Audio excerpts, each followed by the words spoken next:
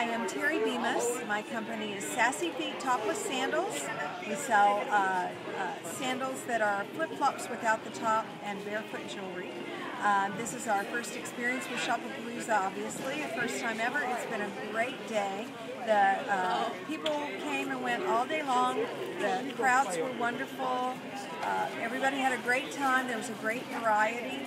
Uh, I'll be back next year and looking forward to it.